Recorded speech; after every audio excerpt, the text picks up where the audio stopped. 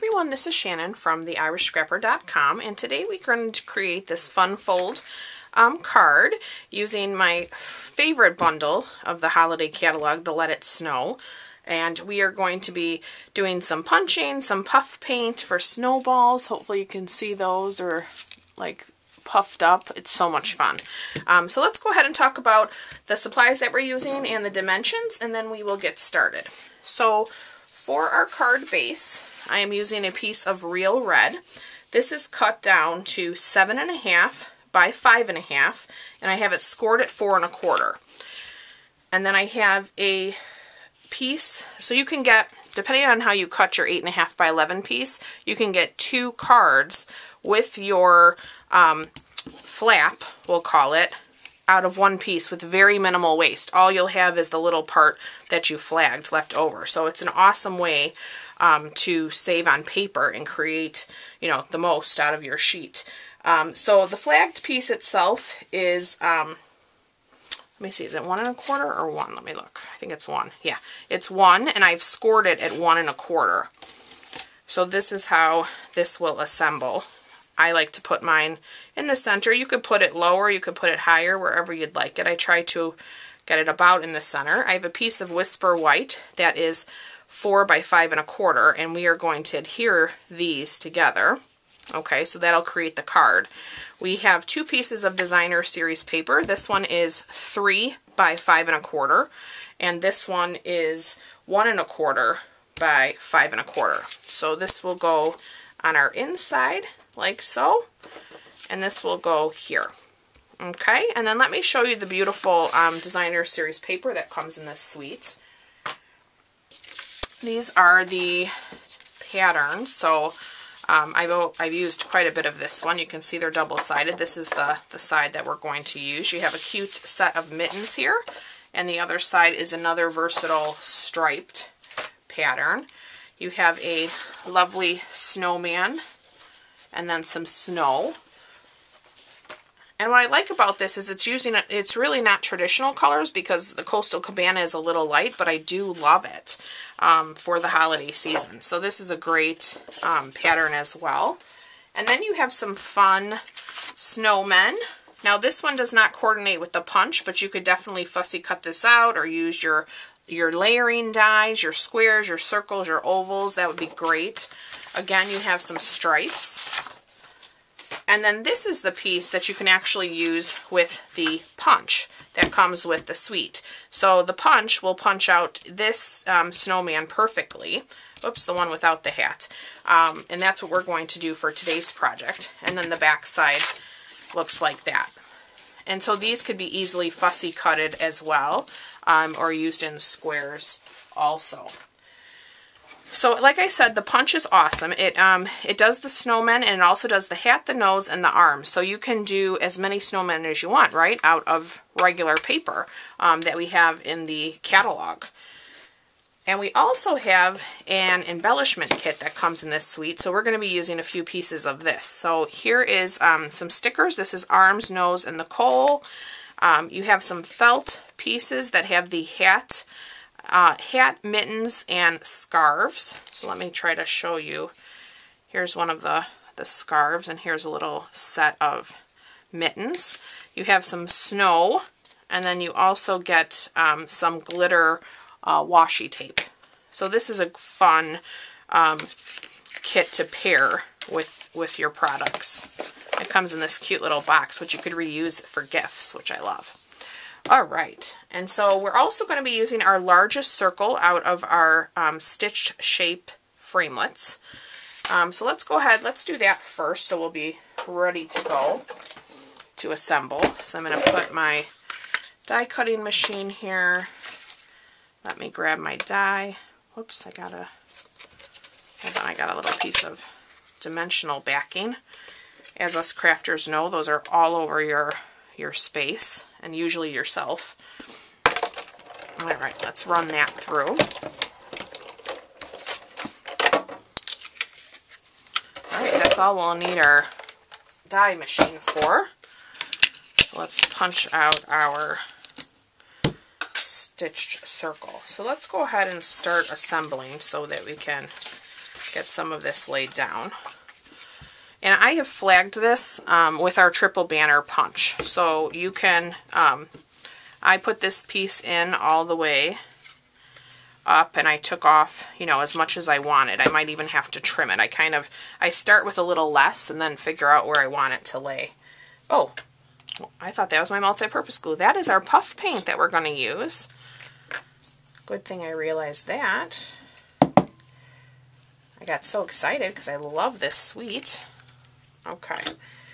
Alright, so let's add our piece of Whisper White.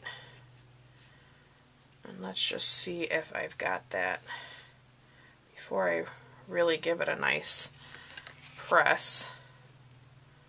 Make sure I'm straight. Almost did it again. Alright, let me get some liquid purpose, liquid, multi-purpose liquid glue. Get my words all jumbled here on the back. Alright, and let's lay this down inside our card base. That looks good. So here is where you can determine, yeah, let me get my bone folder, how you get a nice crease. Give this a nice crease. So if this is too long and you want it a little bit shorter, which I think I do. I'm just going to put it right back in here. And I'm going to take off a little more of that.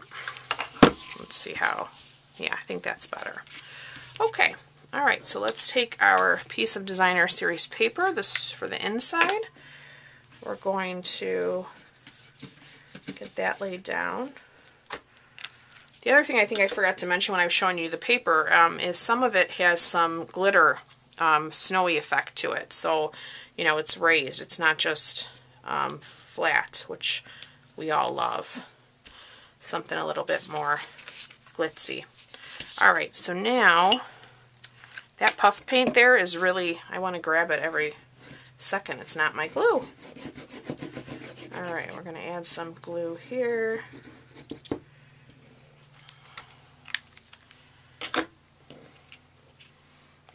we're going to add this to the front of our card. Alright, look at that. Look how pretty. Such a quick and easy um, fold. Alright, so now we have our stitched shape. I'm going to put some glue here.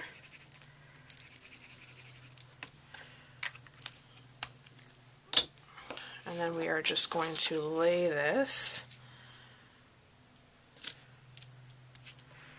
Give that a nice press. Okay, and then what I've done is I've just cut out the snowman that I want to punch um, with my punch. So I am going to stick that in there. And give him a nice, get that little scrap out. And then I have a hat here, which is cute. The designer, both sides of the designer series paper, so I don't want to throw that out. I can use that. Why waste it? And we are going to put him here with some dimensionals. So I'm going to grab three of those.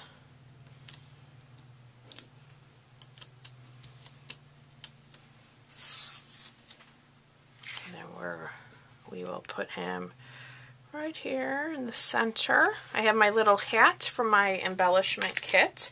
I'm going to add a dimensional to that as well. Most of the time I put those down with liquid glue, but because I popped him up, I want the hat to be popped up too. So we're going to add that. Let me grab myself two little arms. We're going to stick those under there. Okay, and then I did put gloves on my original. Um, so let's let's do that. I have some red ones already loose in there. Set that aside. We'll use some mini um, dimensionals on that. So let me grab my little piercer.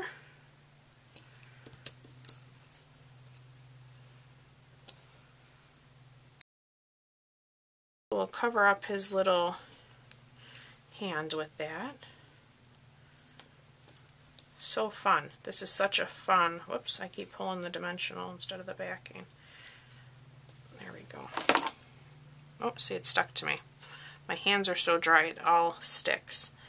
Look how cute he is. All right, so now let's get to the other fun part, which is our Snowfall Accents Puff Paint. So this is used um, with our heat tool.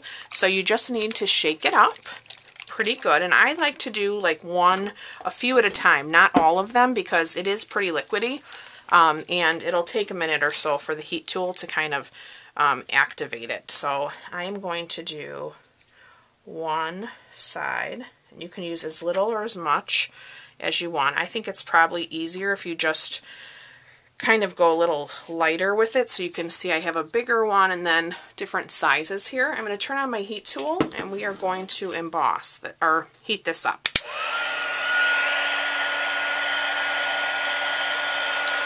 I might have to go off camera. I'm going to try. My heat tool doesn't quite reach. Turn into their own shape and form. Hopefully you can see that. They kind of just, if you hold the heat tool long enough, it'll kind of continue to grow. And I just kind of watch that till I think, okay, I like that size or I think it's done. Um, we'll add another one, another few on this side here. And I'm sorry, I'll probably have to go off camera to get this to reach. Okay, so now you can see and I did hold that pretty long, so sometimes it kind of wants to warp your, your front piece there. You can just kind of reshape that, and then you should be good. But isn't that fun? Look at that snow. I absolutely love this. So let me show you another one um, that I actually, I think I might have saw on Instagram, which I thought was adorable. Um, this one is using our dog punch. So if you're a dog lover um, and have that, um, punch, you can definitely do this one as well. Super fun. I used same same sizes, same um, product, and that one came out super cute also. So I do hope you guys enjoyed um, today's video. I, of course, love spending time with you. Um, I look forward to being back with you soon. You will find a full supply list in the description of the video if you need to purchase these products in my online store. And I will see y'all real soon. Thanks again for watching. Bye-bye.